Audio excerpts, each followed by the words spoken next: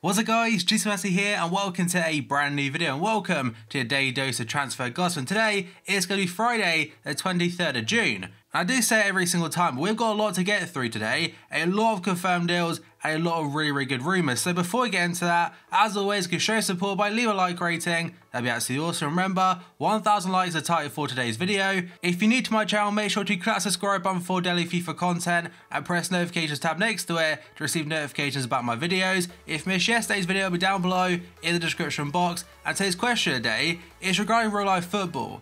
Who was your favourite player to watch as you were growing up? And my personal answer to that one has got to be Steven Gerrard. Let's jump into confirmed deals today. The very first player is an Arsenal player, and that's Takuma Asano, a Japanese striker. He signed about a year ago, I think it is. And last season he spent out on loan to Stuttgart in Germany, and apparently he's doing the same next season on a one-year loan deal. Next though, got to a couple for Rangers, and the two Mexican players, the very first one is Carlos Pena, a very solid silver in FIFA 17, and apparently in real life has got a nickname to do with Ruud Gullit, and that one is from Guadalajara on an undisclosed fee. The next player is also from the Mexican League, and is Eduardo Herrera, joining Rangers from Pumas or UNAM, again for an undisclosed fee. The next one is Gonzalez going to Bologna from Palermo for £1.7 million. And his FIFA card for number 77 doesn't look too bad whatsoever on a FIFA 17. He is fired by Berisha, an Albanian goalkeeper going to Atalanta on a permanent basis now from Lazio for around £4.52 million, and he spent last season on loan to the club. And another goalkeeper made a switch yesterday is a guy who went from Newcastle, being Matz Sels,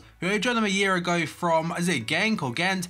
I'm not sure what it is, but he only lasted at Newcastle for one year. He didn't really play too much football in the Championship and has gone on loan back to Belgium to Anderlecht on a year-long loan. Next up on the final today is a pretty damn big one, and that is Mohamed Salah finally completed his switch to Liverpool from Roma. And in regards to the fee, there's a lot going about. The very first one, according to Liverpool Echo, is £30.8 million, rising to 34.3 after add-ons. But Roma's official announcement does say 42 million euros, which is 36.9 million pounds, plus 8 million euros in additional fees. And with the Liverpool Echo saying 34.3 million pounds, they did say Liverpool insisted that was the price, but Roma, they officially announced 42, so they are probably more reliable on that one. So overall, he is Liverpool's record signing. And finally, after all this time, Andy Carroll is no longer our most expensive signing, which is great to see.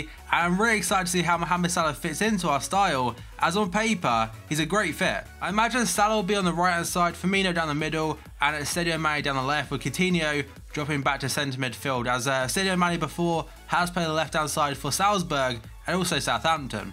And I'm pretty sure they all have like three roles anyway, and potentially for counter-attacks next season, that's what really excites me the most, because on the counter, no players will be able to catch up to them. But now, we move on to potential deals, and the very first one, technically it's actually a confirmed one. And that is going to be Patrick Schick. So the Sampdoria player has completed the first part of his medical at Juventus, and that's via their Twitter account. They tweeted out pictures of him having the medical, so probably today, at some point, it'll be all official. And that Juve team seems to be getting better and better every single window. Next up we go on to Frank de Boer, apparently very close to becoming the Crystal Palace manager. And Sky did tweet out saying Crystal Palace are close to appointing Frank de Boer as their next manager according to Sky sources, but it's pretty much according to every source. And he has been into a fair amount of English clubs before, I think Everton were one of them, and I'm pretty sure Liverpool were a few years ago. And next up, we've gone to Will Hughes. Yes, there was mention apparently going to Watford, and Pretty Sky today has said Watford have agreed a £7 million deal with Derby for the midfielder, although right now he's currently away on international duty with the England under 21 team. And he seems to have been around for absolutely ages, but apparently he's only 22 years old. Next up, we go on to Adnan Januzaj, and again, according to Sky sources, Manchester United have received a bid of £9.7 million from Real Sociedad in Spain for Januzaj. And I actually saw a really funny tweet regarding this. I'll actually put on your screen right now.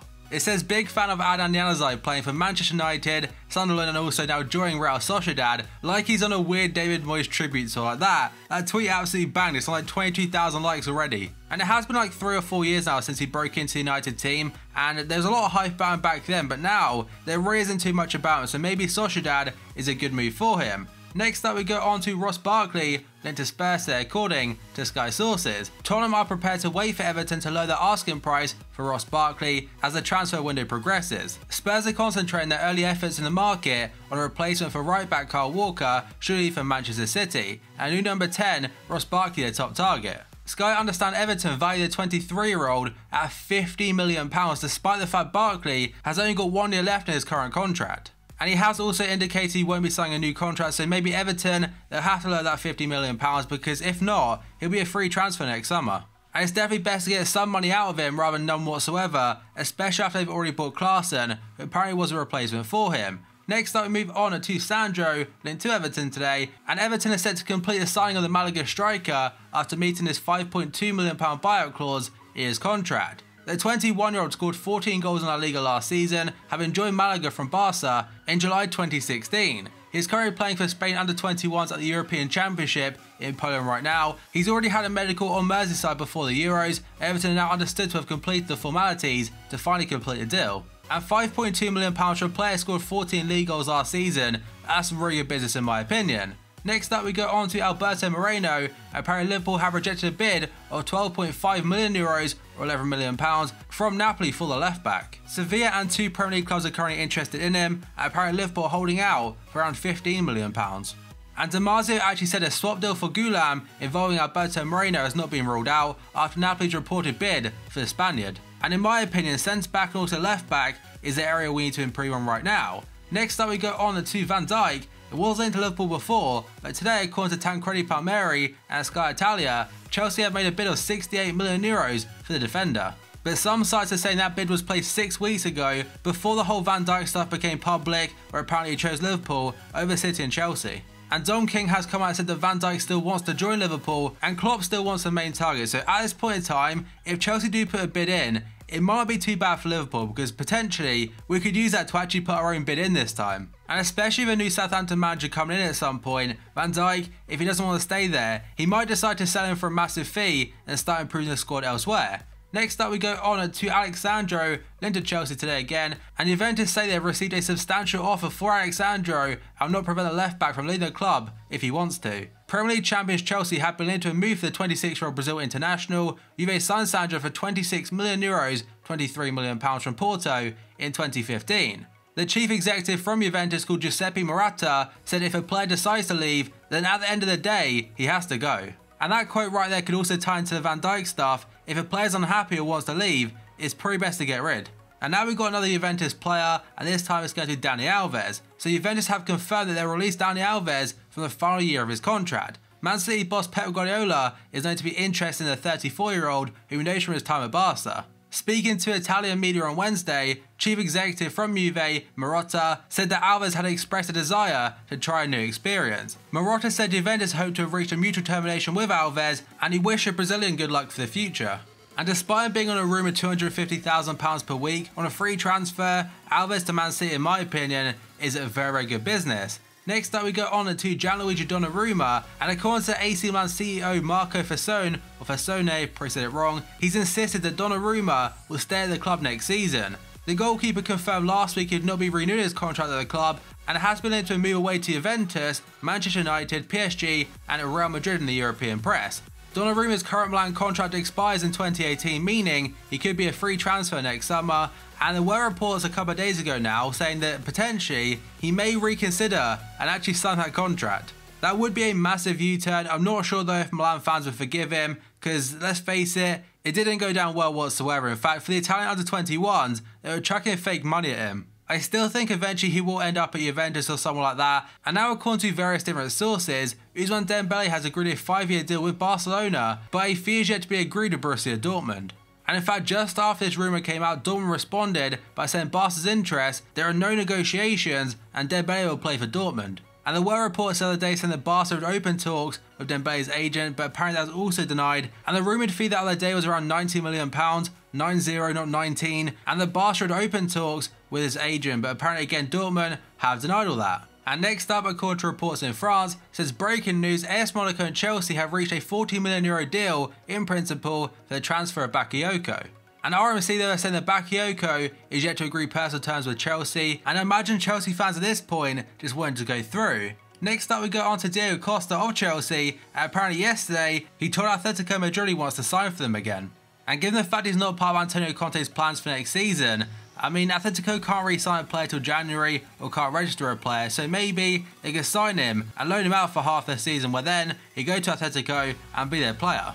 I mean, they might not even loan him out, they could just sign him and uh, probably keep him in training and whatnot and work with the team. And the day star center Diego Costa is ready to dig his heels in and stay at Chelsea until he steals his dream move back to Atletico Madrid.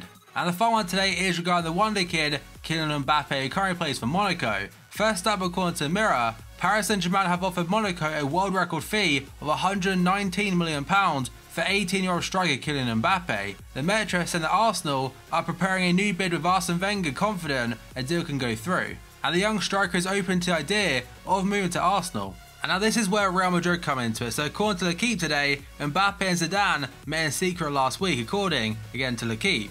In this meeting, Real Madrid promised Mbappe playing time with one of their major stars set to leave. And other big clubs have now spoken directly to Mbappe on top of Madrid, PSG and Arsenal. So my view on this one, I don't think he'll leave this summer unless it's to one team and one team only, and that is Real Madrid. They've got the funds to do so. I don't think Ronaldo will leave, but potentially, if Morata leaves, that's a lot of the overall fee covered right there. I think the rumoured fee from Morata is like £62 million. Obviously, there's some way off the 119 or whatever it takes to get Mbappe, but still, it doesn't look as bad, especially. But then you also add on top that the marketing potentially available for Mbappe. It's absolutely huge. But that is going to be it for today's episode, guys. So as always, if you enjoyed it, show support by leaving a like rating. That'd be absolutely awesome. Remember, 1,000 likes to the target for today's video. If you're new to my channel, make sure to click the subscribe button for daily FIFA content and press notifications tab next to it to receive notifications about my videos. If you missed yesterday's video, be down below in the description box. And today's question of the day, who is your favourite player to watch when you're growing up? So thank you for watching this video, I'll see you next time.